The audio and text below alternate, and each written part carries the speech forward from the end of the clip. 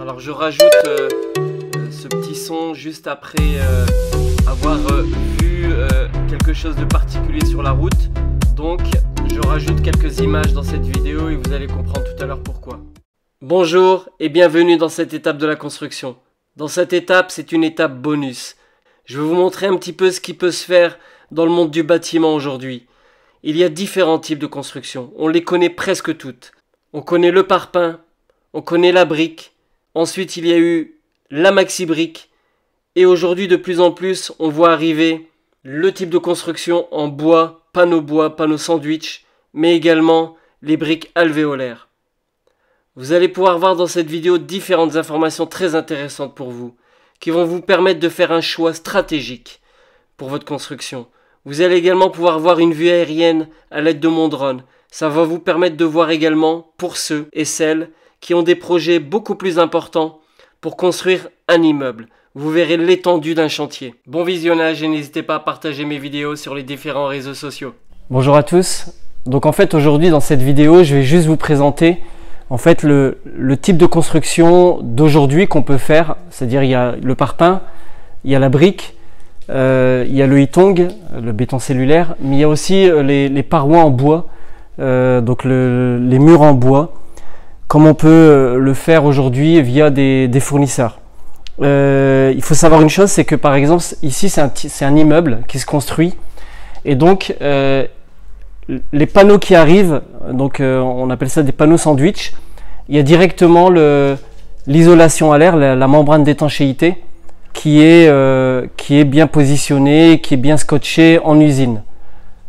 Parfois, on peut le voir ici juste au-dessus, il s'avère que s'il y avait un trou comme ceci, on voit la laine de verre qui est à l'intérieur, mais s'il y a un trou comme ceci, il faudra bien entendu le, scotcher, comme par exemple ici on voit qu'il y a eu un défaut, et donc ils ont rescotché. J'ai un peu de doute moi sur leur, type de scotch euh, qu'ils utilisent, parce qu'on voit que c'est carrément percé, hein. donc euh, c'est à revoir. C'est pour ça que moi j'utilise que les matériaux de type isovert. Alors l'avantage qu'il peut y avoir sur ce type de construction, c'est que vous allez pouvoir commander comme si vous alliez commander des matériaux type briques, type parpaing. euh, bah, vous allez aller chez un fournisseur qui fait ce type de panneau et qui pourra vous vendre des produits euh, ainsi. Donc ça sera livré vraiment euh, en pack. Et l'avantage que vous pouvez aussi avoir, c'est que en fait ça se montre très très rapidement. Les panneaux viennent en entier, je vais pouvoir vous les montrer dans cette vidéo aussi. Eh bien, il, suffit d'être à deux ou à trois pour pouvoir les fixer et simplement les lever. Donc la structure centrale, en fait, elle est en béton. Là, en, en l'occurrence, comme c'est un immeuble, donc c'est du, c'est un escalier en béton qui sera recouvert certainement par la suite. Pareil pour la dalle. Donc ils ont fait une dalle béton.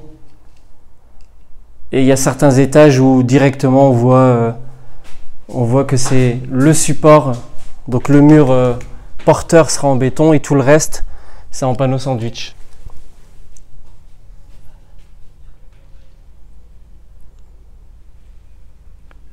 Donc là, c'est ce qui va servir de terrasse. Afin de pouvoir faciliter le maintien donc des panneaux sandwich, il vous suffirait d'acheter les barres grises que vous pouvez voir à l'écran qui serviront au maintien pour la fixation. Pour supporter les OSB, donc le plancher, donc voici les poutrelles. Donc elles sont fixées simplement. hein. Alors il faut savoir une chose, c'est que au niveau, euh, je dirais de, du bois en lui-même, eh bien c'est plus écologique d'utiliser ce type de matériaux que d'utiliser par exemple des madriers ou des bastins. Ça c'est une évidence. On peut voir les fenêtres qui ont été montées. Donc est fixé comme n'importe quelle fenêtre peut l'être aujourd'hui. Bien entendu, pour l'isolation à l'air, il va falloir retravailler à ce niveau-là. Pour la structure du plancher, il n'y a rien de plus simple. hein. Vous prenez des OSB. Vous pouvez, vous, par exemple, utiliser des OSB pour pièces humides. Souvent, ils ont une couleur verdâtre. Aujourd'hui, il n'y a rien de plus simple que de construire, que ce soit en parpaing, en bois, en hitong. Donc mise en sécurité par les planches en bois afin d'éviter toute chute accidentelle. Une petite vue de la surface planchée qu'il y aura à l'étage pour permettre donc la terrasse. Je vais pouvoir vous parler donc de ce type de construction que vous voyez en face.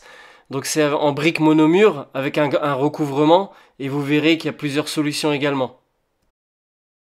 Donc les réservations pour les câbles électriques, donc avec les gaines qui arrivent en dalle à des endroits bien précis. Donc là en fait il y a le mariage entre le bois et l'acier.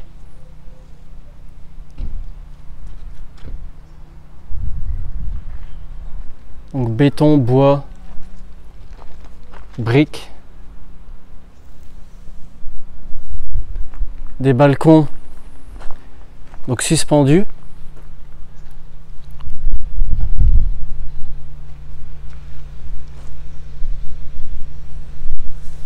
Vous pouvez remarquer qu'il y a en fait donc une structure métallique pour ce, pour ce balcon. Ensuite, il y a un plancher en bois qui est posé dessus et ensuite il y aura une finition. Bien entendu, les eaux se rejettent grâce à des pissettes qui sont sur les côtés que vous allez pouvoir voir tout à l'heure dans des photos. Là, ce que je vous montre, c'est en fait la structure métallique.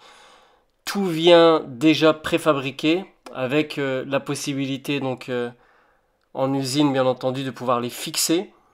Alors cette, cette, euh, cette vision qu'on a du dessous, donc de ce balcon, elle est intéressante parce que en fait au niveau de la finition, on voit que ça a été vraiment travaillé et réfléchi. Donc il y a en fait une tôle soit galvanisée, soit en, en inox, donc qui en plus a été peinte. Et vous avez les pissettes qui sont sur les deux côtés afin de récupérer les eaux de pluie bien entendu et euh, donc les éjecter en dehors euh, direct plutôt que de les avoir euh, qui couleraient par exemple sur la fenêtre ou sur le mur en béton que vous voyez à l'écran. Alors de la même manière que vous pouvez construire des maisons individuelles, eh bien pour les immeubles ils vont faire soit des surfaces de vente au rez-de-chaussée, soit des garages, des parkings et donc, vous-même, vous pouvez, dans votre maison individuelle que vous pouvez construire en bois, faire de la même manière que vous auriez fait un vide sanitaire, simplement en rajoutant plusieurs rangs, pouvoir faire une surface donc en bas au rez-de-chaussée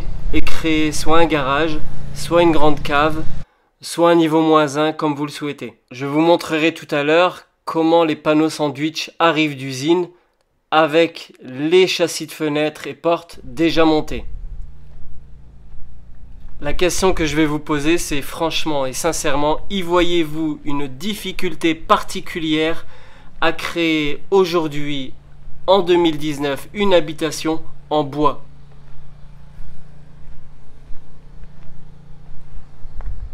Petit récapitulatif. Vous achetez vos panneaux en bois, ils arrivent avec une membrane d'étanchéité à l'air. Vous aurez besoin donc des planches que vous voyez au plafond pour vous permettre de faire la structure.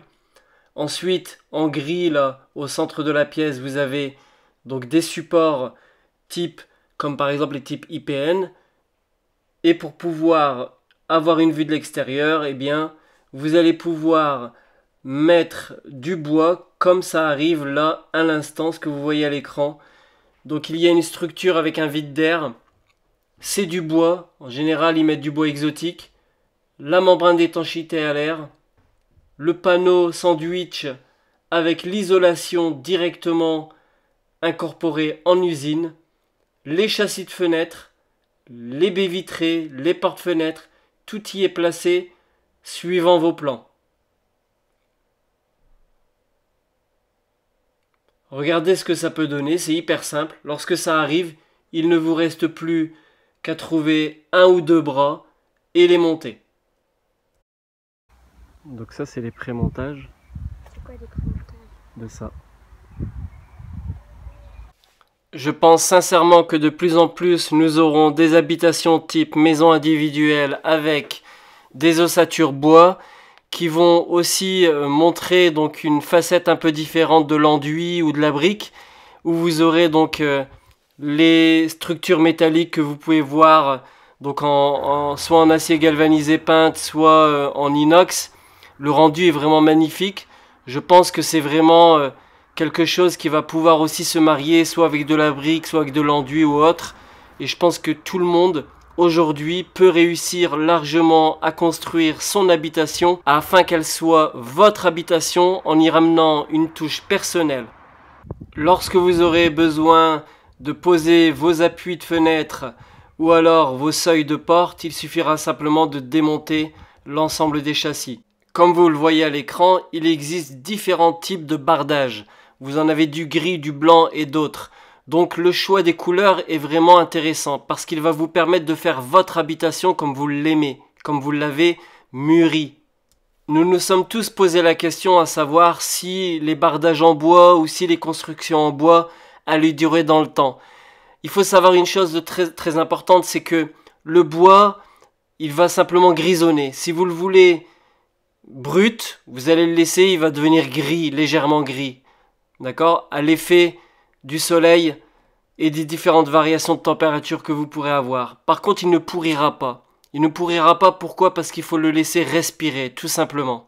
Avant de continuer, je vous fais une petite visite en drone. Allez, on décolle. Alors, ces vues sont assez intéressantes parce qu'elles vont vous permettre de voir un peu l'étendue du chantier, mais aussi de pouvoir voir que même sur du bois, une étanchéité peut se faire largement.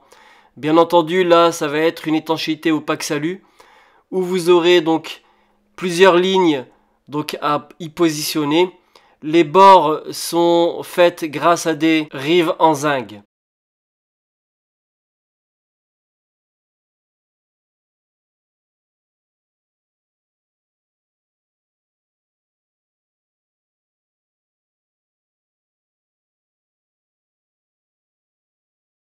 La structure terrasse étant en bois, il y a une facilité aussi pour les évacuations des VMC, également pour les apports en climatisation. Moi je trouve vraiment que le rendu est quand même vraiment formidable. Si c'était à refaire, j'aurais plus bâti un petit immeuble, parce qu'au fond il n'y a vraiment pas de différence entre un immeuble et une maison. Aujourd'hui, si vous voulez investir dans l'immobilier, je vous dirais, bah écoutez, trouvez-vous un grand terrain et investissez plutôt dans un immeuble. Il n'y a pas de différence réelle. Donc franchement, foncez.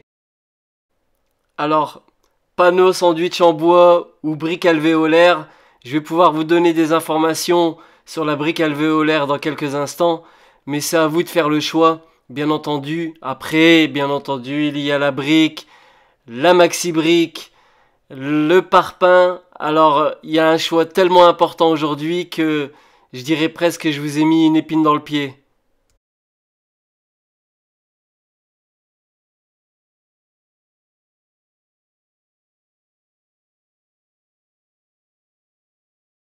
Allez, on va atterrir parce que là, ce qui arrive, c'est très intéressant. Donc là, en fait, il s'agit d'un recouvrement en briquette donc le recouvrement en briquette, en fait, euh, moi pour moi personnellement, c'est pas quelque chose que je ferais. Pourquoi? Parce que le rendu, en fait, il est, il est pas, vraiment beau. En tout cas, il faudra vraiment que le maçon qui fait ça le fasse vraiment euh, avec euh, minutie.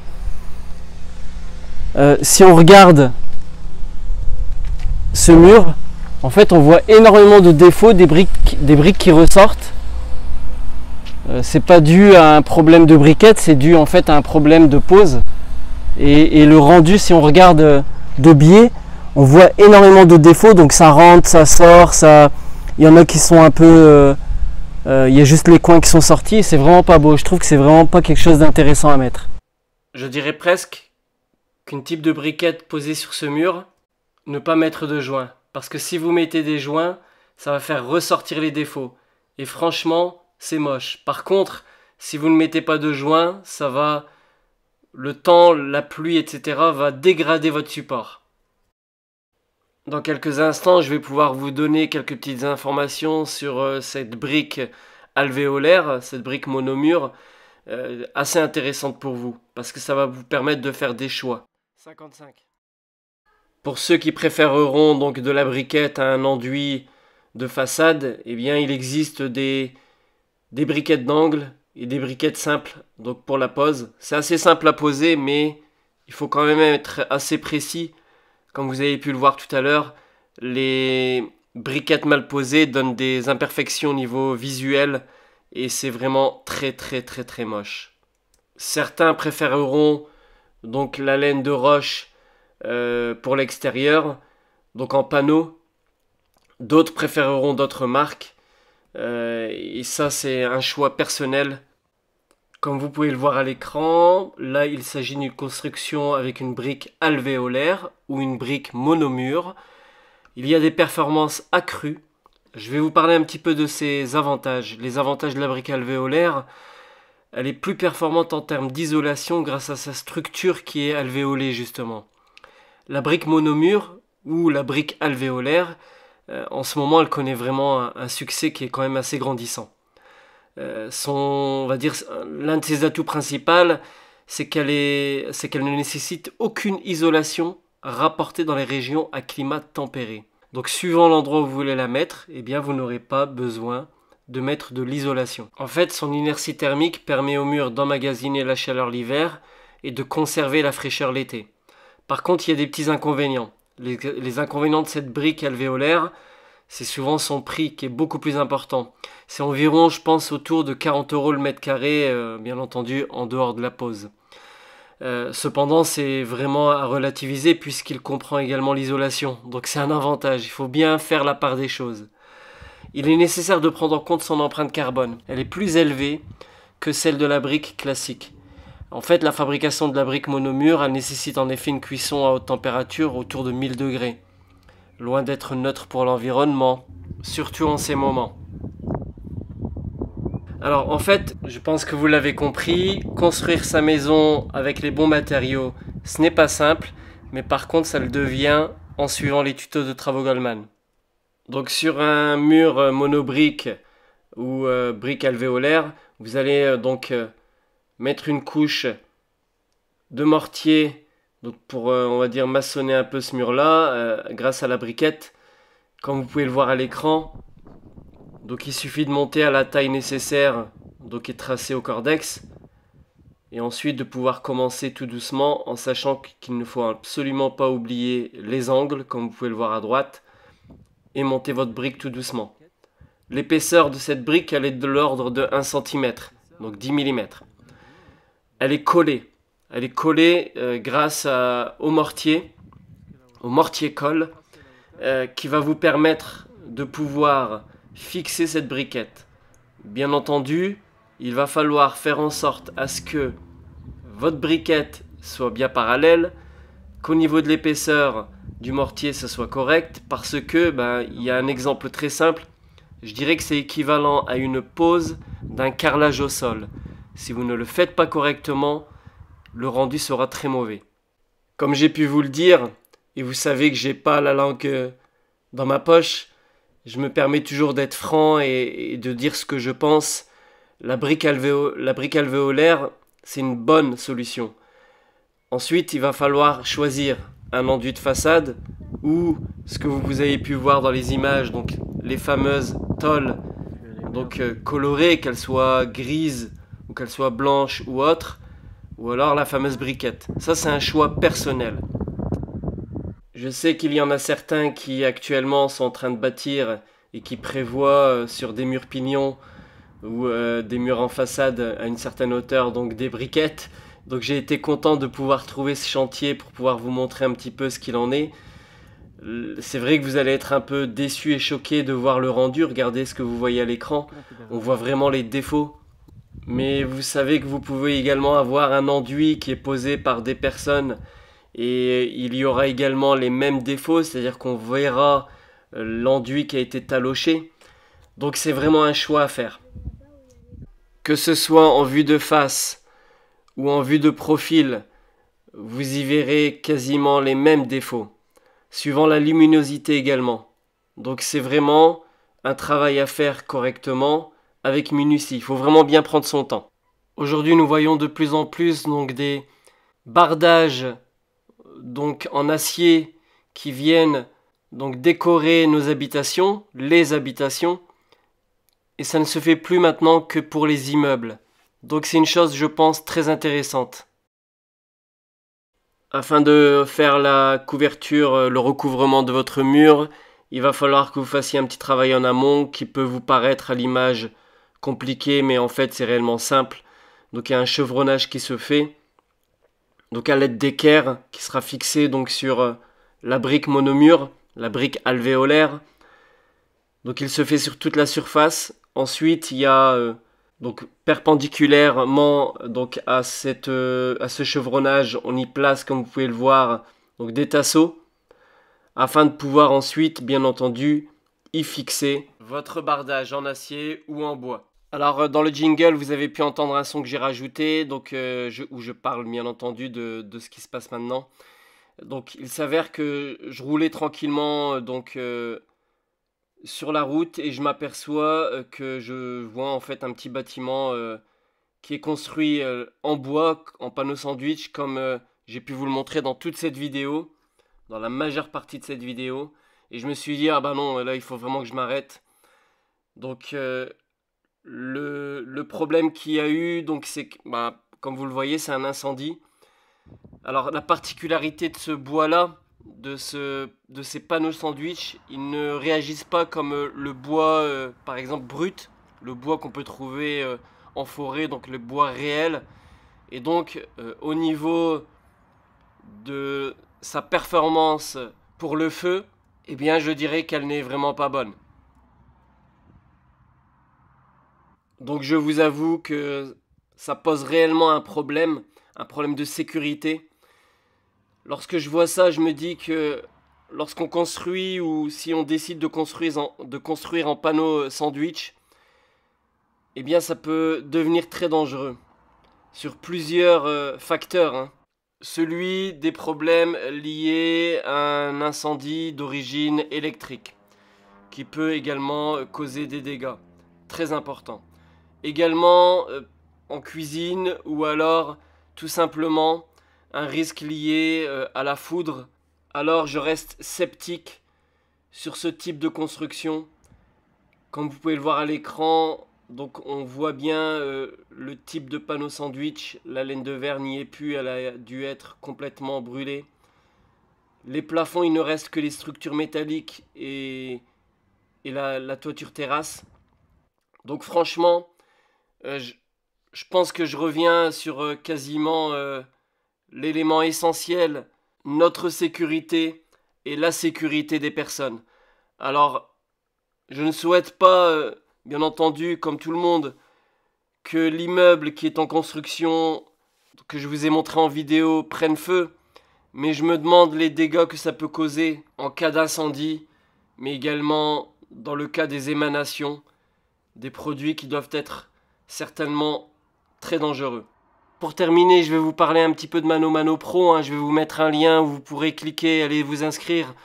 Donc n'oubliez pas que vous soyez professionnel ou particulier, n'hésitez pas à passer par eux. En tout cas, pour ma part, je tenais à, préciser que Mano Mano Pro, donc c'était une enseigne quand même qui était très professionnelle et qui permettait vraiment à des personnes comme vous, comme moi, de pouvoir acheter du matériel et se faire livrer rapidement, en plus à, à des prix quand même qui défient toute concurrence. Donc, bien entendu, il ne s'agit pas d'une publicité, il ne s'agit pas d'un partenariat, il s'agit simplement d'un ressenti que j'ai et que je voulais partager avec vous. Allez, à bientôt